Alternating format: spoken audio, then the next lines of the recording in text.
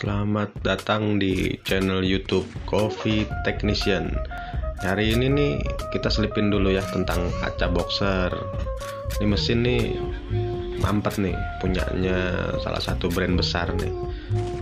Dia mampet, biasanya mesin-mesin gini nih mampet karena perawatannya dan di awalnya sih milihnya nggak tepat ya.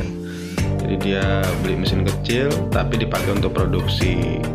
Ini nggak tepat. Setelah kita bongkar, itu standarnya biasa. Semua mesin itu kalau nggak sesuai peruntukannya maka dia pasti akan ada kendala ya. Ini masih ya lokasi nih lihat di gambar agak berantakan. Karena emang workshop kita itu ya begini bentuknya gitu ya buat teman-teman semua. Kalau memang mau buka usaha di kopi itu mesin itu mendingan sekali belinya tapi yang tepat. Jadi jangan pakai bisa murah atau apa pun itu ya. Nanti kendalanya banyak tuh. Oke ya Nah, jadi semua itu memang sudah ada perhitungannya. Thank you.